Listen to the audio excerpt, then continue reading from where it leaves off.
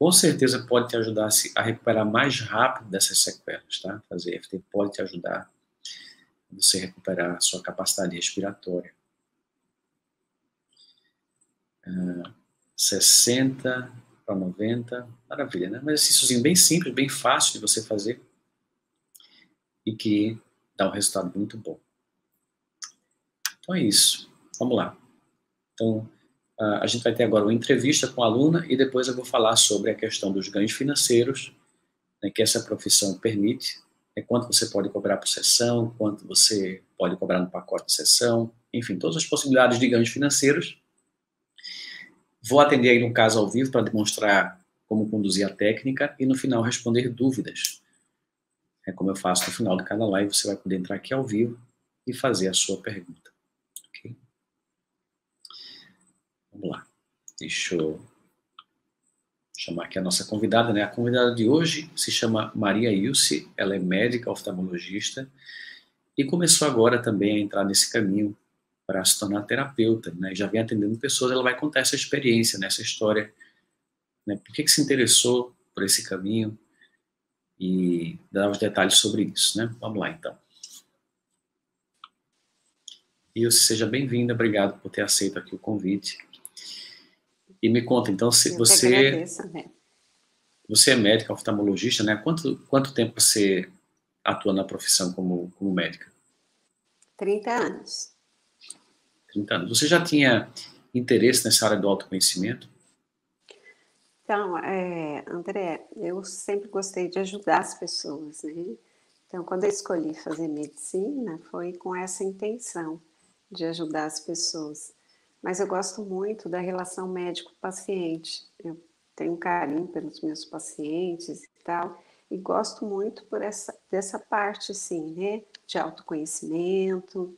Eu já tive depressão, então eu já tratei, e agora fiquei bem melhor com a EFT, né?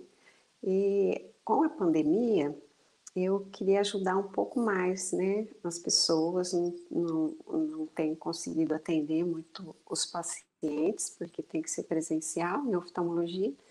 E comecei a fazer o curso e gostei muito. Nossa, me fez um bem a mim. E é, eu comecei a aplicar nos meus pacientes, sabe? É, não, foi um paciente que me falou sobre FT e eu comecei a seguir você e é, resolvi fazer o, o, curso profissionalizante. Né? Eu gosto muito dessa área. Então, quando você começou a atuar como médica, você já tinha dentro de você essa coisa do gostar de ouvir, gostar de escutar, gostar desse contato com o paciente, da relação. Então, provavelmente você já, já tinha um jeito diferente de atender da maioria. Né? Uma, uma forma Sim. mais, talvez, acolhedora, onde provavelmente os pacientes devem dar esse feedback para você, né? De que se sentem bem, que gostam de, de ir para conversar também.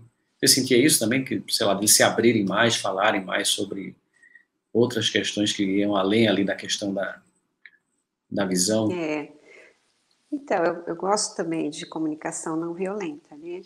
E, então, essa coisa de empatia e tal. Mas a comunicação não violenta, eu, eu via que não resolvia os gatilhos emocionais, né? Então, é, eu achei maravilhosa a FT, porque ela tem essa questão de empatia, de se conectar com a parte emocional, né? e liberar esses gatilhos, né? resolver mesmo, e não só uma coisa paliativa, né? Me conta um pouquinho dessa questão da depressão, né? Deixa eu te contar. É, deixa eu te contar. Então, quando eu comecei a, a, praticar um pouco, né, conhecer EFT, eu fazia em mim e tal, e um dia eu, come... eu falei, ah, vou fazer em paciente, né? Tinha um pai de um paciente que é, referiu que não estava se sentindo bem e tal. E eu fui fazer um pouco de FT nele. A hora que eu quase ia começando a fazer, eu percebi que ele estava meio parado e ele falou assim, eu perguntei se está bem, ele falou, nossa, onde é que eu tô? Eu falei, gente, esse negócio é poderoso mesmo, né? e paciente que chegava com síndrome do pânico, sabe, em crise, aí eu já tratava. E foi, nossa, muitos casos assim que eu posso falar. E comecei a, a atender também. Então eram pessoas que vinham com a questão da, da visão, mas traziam ali outros problemas e você acabava ajudando e atendendo a pessoa também com, com EFT, não é isso? Eu queria que você falasse um pouquinho primeiro, antes de falar desses casos que você já atendeu, que você contasse um pouquinho dessa questão da depressão. É, como é que foi isso para você? Você passou muitos anos em depressão, a EFT te ajudou a sair disso? Me conta sobre isso. André, desde criança eu tenho essa questão de labilidade emocional, né? E com o tempo evoluiu para uma distimia, então uma labilidade emocional. Tinha épocas que eu estava bem, outras que eu chorava muito, né? E com a minha separação isso se agravou um pouco. E então sempre fiz terapia. Foi bom, mas é muito diferente, André. O resultado que eu tive assim com a FT é, ah, não dá para comparar muito, não que a terapia, toda a terapia que eu já fiz não tenha ajudado, não. Até talvez a FT eu consigo ter um resultado mais rápido, porque já pensei em várias questões, né? Mas eu estou me sentindo muito melhor. Eu tomava alguma medicação, já diminuí bastante, né? E estou me sentindo muito bem, inclusive me encontrando nessa questão de tratar a parte emocional também. Uhum. Então hoje você está com a, a, depressão, ela está tá reduzida, não está ainda 100%, mas você acredita que melhorou quantos por cento assim dessa, dessa questão da depressão depois que você ah, começou André. a fazer o trabalho com a FT? Acho que os 95%. Viu? Tem só uma coisinha Muito ainda bacana. aí que precisa melhorar, mas é pouquinho, né? E é. foi essa, essa questão da depressão, isso também te motivou a, a querer ajudar as pessoas, a atender as pessoas? Sim. É mais um fator que contribui para isso? Com certeza. É, a gente percebe, né, o sofrimento das pessoas que a gente sofre, então tem mais é, vontade de ajudar. Isso eu tinha desde pequena mesmo. Uhum. Quando você entrou no FT Pro, você já estava em mente que você queria fazer para trabalhar como terapeuta também, para incluir mais essa, essa ferramenta? Me, me, conta assim, o que é que você pensa hoje, né? Se você é, pensa em um, em um momento trabalhar só com o trabalho como terapeuta, se você vai estar sempre conciliando com, com a oftalmologia, o que é que, que, é que você imagina? Eu gostaria de, eu, queria, eu gostaria de migrar para é, para tra é, trabalhar só com EFT. Né? Porém, André, tem algumas coisas que eu faço em oftalmologia que não, não, não são muito comuns os, os oftalmologistas tratarem. Então, é, eu acho que eu vou continuar assim, fazendo algumas coisas, mas eu me realizo muito mais assim com EFT hoje em dia. Também já trabalhei 30 anos com oftalmologia, né? E, então, é um sonho meu mesmo de trabalhar com essa parte psicológica. Vou, não vou deixar a oftalmologia, porque tenho meus pacientes todos que precisam, mas é, eu gosto muito de, da FT, vejo os resultados assim das pessoas que eu tratei e é muito bacana, é muito recompensador, né? Mas agora é, você tem, você tem você tem colegas médicos também que já sabem que você faz isso, que já você já falou isso para alguém? Como, como é que é essa recepção nessa área? É, é um pouco resistente, né, André? Mas eu sou, eu faço parte dos médicos que a gente chama integrativos, né? Que procura ver o paciente como um todo, tal. E eu estava fazendo uma pós-graduação em medicina integrativa na Escola Paulista de Medicina, né, na Unifesp e é, me propus, é, sugeri de eu dar uma aula nesse curso de pós-graduação, eram 40 médicos e tal. E nós é, demos a aula e tudo, o pessoal gostou, mas é bem diferente, né? Você tem que. Você deu uma aula de EFT?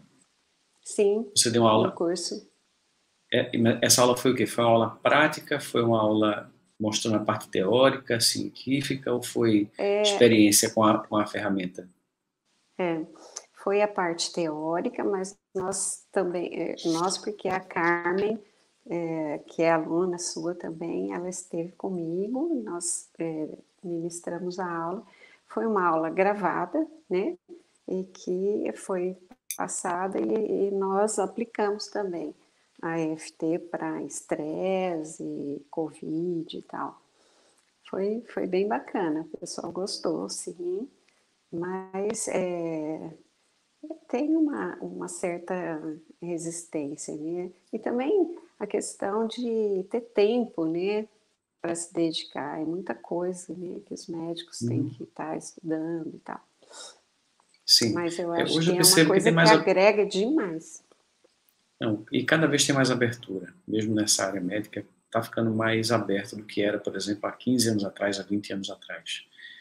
Então, hoje é mais fácil que um médico entenda, aceite e não rotule ou ache que é uma coisa que não faz sentido. E parece que a mentalidade já está mais aberta mesmo nesse campo. E hoje, além disso, nós temos ainda as evidências científicas surgindo cada vez mais. Então, diversos estudos, se você colocar lá no Google acadêmico EFT Tapping, que é o nome em inglês que se dá, né? Você vai encontrar, nossa, é, milhares de referências. né? Milhares e milhares. Em pouco tempo, e, né, André? Isso, em pouco tempo. Ah, o, o site, né, o EFT Universe, ele condensa ali algumas pesquisas também, é que o Dawson Church compilou, né, o psicólogo americano que compilou essas pesquisas, mas o acadêmico também não falta referência, então, para quem gosta de estudo científico, falar sobre essa área. Tem muito material bom aí para pesquisar, para dar palestra se quiser. É, mas, mas quando, quando a gente fala de FT, eu acho que sempre é muito bom você fazer a experiência prática, para as pessoas sentirem. É. é porque, ao contrário de outras ferramentas, é muito fácil de fazer e todo mundo pode se auto-aplicar junto na palestra e todo mundo já ir, ou pelo menos a maioria já vai sentir ali alguma, alguma diferença, né? vai sentir algum benefício. É, então, na, no caso, a gente, a gente, não teve muito feedback, porque foi uma aula gravada, né? Uhum, no... Certo. É, se fizer uma Deixa aula ao vivo, é bem coisa, interessante, André, né? É, o, medicina é, agora aceita né, a, a acupuntura como uma especialidade médica, inclusive, né? Demorou muito uhum. para eles reconhecerem. E como a FT é uma, uma acupuntura também, né? Então, agora eles já já estão aceitando bem mais tal. Interessante. Nos Estados Unidos tem muitos médicos que fazem FT, médicos conhecidos que fazem, que promovem.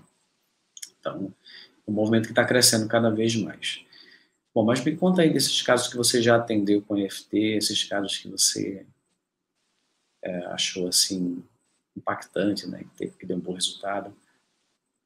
É. André, já tratei de muita coisa.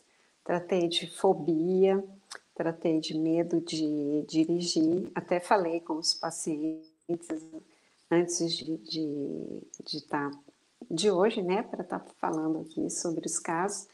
Então, uma paciente que eu tratei, que ela tinha medo de de dirigir, até era aluna da, do FT Pro também, e ela me disse, olha, estou dirigindo na estrada, né? É. Teve paciente com, com, assim, uma raiva, um ódio, uma mágoa muito grande, que em pouco tempo essa mágoa passou, né? É, paciente que não conseguia dormir, que estava muito ansiosa com a epidemia, com o namorado com, com câncer, com a filha com problemas, né? E ela sem dormir. Eu sei que nós fizemos algumas vezes, né? Aí na quarta vez eu conversando com ela, ah, vamos ter. Eu falei, ah, você sabe que eu estou na praia, estou tão bem, vim aqui com minha prima, minha filha e tal. Então é uma melhora bem, assim, assim bem evidente mesmo, né? Para quem estava com é, coronofobia e foi para a praia, né? pois é. E outro também, uma amiga, né, sabe, sabe que eu faço EFT, até ela é acupunturista. E ela tinha um problema muito sério com o pai dela, uma rejeição, um problema muito complicado. E um dia ela viu, encontrou o pai dele, dela no, no condomínio que ela mora e ela ficou muito mal. Estava assim, tendo uma crise muito difícil, assim. E ela me ligou, falou: Isso, eu tô, tô me sentindo mal, aconteceu isso tal. Então, nós fizemos algumas rodadas, né? E no fim, aquela rodada positiva e tal, aí eu falei, vontade de abraçar meu pai e tal. Ela falou, não, peraí, isso aí também não, né? Aí passou duas semanas, André, eu, como é que você tá? Ela falou, nossa, isso, meu pai é, quis me ajudar a mudar meu apartamento, né?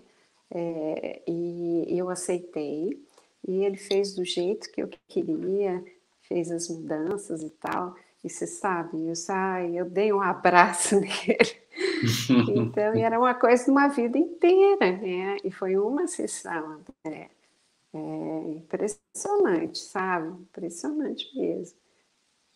É, às vezes uma sessão faz um, uma revolução, né? Pode fazer uma revolução na vida de uma pessoa. É, é verdade. E quais são quais são os teus planos, né? Assim, de, de os próximos meses, né? Qual é a tua meta, assim, de atendimentos por dia? Como é que, como é que você queria ver a sua agenda é, como terapeuta? Como é que você imagina, assim, o seu, a sua vida de terapeuta nos próximos meses? Quantas pessoas você está atendendo por dia? É, enfim, qual o tempo que você vai dedicar para a oftalmologia? Qual o tempo que você vai dedicar para a terapia? Como é que está isso na sua cabeça agora? Eu acredito que umas quatro horas eu vou me dedicar na oftalmologia e umas quatro horas também, não é muito, é umas três horas de, de EFT, né? Eu faço também no fim de semana, eu gosto, é, é por prazer mesmo, né? Mas eu preciso ter essa renda também, né? Preciso Sim essa, essa, agora... essa parte financeira ficou, ficou complicada no seu caso por conta de você não poder atender online, né, com a, com a oftalmologia, é, a né? gente né? Então, que diminuir bastante o atendimento, espaçar bastante um paciente e outro com todos aqueles cuidados, né, por causa da Covid. Então, diminuiu bastante mesmo. E com o FT você vai poder fazer isso online, né, sem sem nenhuma restrição, né? Sim. E é uma boa alternativa. Eu estou, André, é, fazendo uma, uma outra é, formação dentro da oftalmologia de uma síndrome da disfunção postural, sabe? E, e trata várias coisas com prisma. Então, e como eu tenho isso, passei a vida inteira também, fica algumas sequelas, tipo é, não, não aceitação, insegurança, né? Eu acho que trabalhar EFT para lidar com essas sequelas que ficam, né, da, desse problema, eu acho que vai ser bem interessante também, né? Sim, você pode, você, você, pode trabalhar o aspecto emocional da doença também, né? Sim. Então, eu já, eu já li vários relatos, já, já ouvi também alguns alunos meus que relataram melhora da visão fazendo EFT. Sim. Então, da pessoa se libertar, às vezes, de um trauma, de uma carga emocional, de uma coisa, e dizer assim, André, eu, será que eu estou enxergando melhor ou é impressão minha? Isso não é impressão. Se você está tá vendo, está enxergando melhor, porque você está enxergando é. melhor. Então, imagina, né? Toda André, essa musculatura que, que tem... É, você sabe que esse problema que eu estou falando tem a ver a visão com a postura, a propriocepção.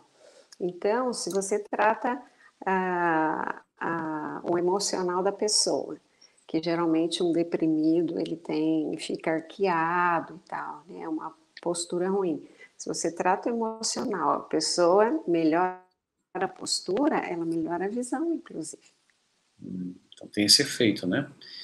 E o que eu estava falando é o seguinte, né? Então imagina que tem toda uma musculatura ali, muito sensível, delicada, que controla a visão, que controla Né? Toda aquela delicadeza que existe ali do foco, da visão, enfim. É uma, uma coisa é bem extremamente sutil, delicada. Né? É, é, bem, sim. E aí é qualquer tensão que você e aí qualquer tensão que você tenha no seu corpo devido a uma carga emocional de alguma situação, se aquilo ficar alojado ali nessa musculatura, nesse, nesse, nesse aparelho que controla a visão, você vai uhum. é, desfocar a visão ou ficar, sei lá, né, alguma coisa ali, alguma alteração vai acontecer e você não vai enxergar 100%, não vai conseguir enxergar 100%. Então faz todo sentido a gente limpar as emoções e de repente, né, como um benefício extra colateral, melhorar a visão. Uhum. E também já li relatos de pessoas que trabalham com EFT para problemas de visão. E aí a pessoa vai começando a se especializar nisso e começa a ver a ligação que tem, quais são os tipos de evento, quais são as emoções ou histórias emocionais que provocam tal e tal doença da visão. Enfim, a pessoa começa a ganhar uma experiência nisso, né? E, uhum. e isso, é, isso, é um nicho também muito, muito interessante para se atuar. Né? Trabalhar um é, aspecto emocional. Sabe que eu já, já atendi paciente com. Ai, lembrei. Com é, é, cegueira psicogênica.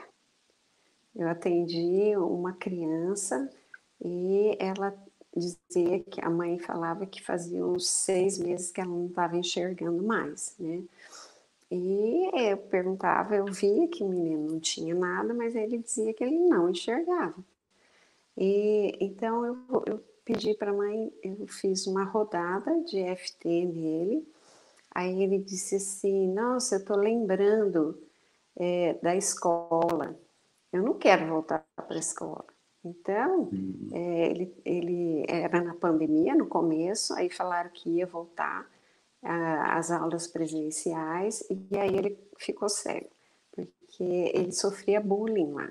Né? Uhum. Então, quando eu fiz EFT, ele começou a falar que os meninos, né? Ah, eu lembrei que os meninos ficam judiando de mim, tia, né?